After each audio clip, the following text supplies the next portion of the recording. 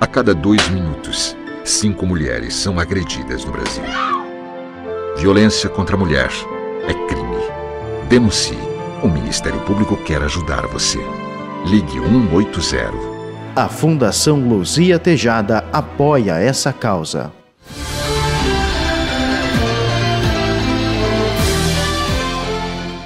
Na noite desta sexta-feira, 14 de abril, mais um jovem foi baleado em Tapes. O indivíduo, identificado como Richard Cunha da Silva, de 20 anos, foi baleado na rua Horácio Gomes da Silva, na Vila Nova, em Tapes. A vítima foi levada para o Hospital Nossa Senhora do Carmo por populares, onde não resistiu aos ferimentos e acabou falecendo no hospital. A polícia recolheu cerca de 14 estojos do local.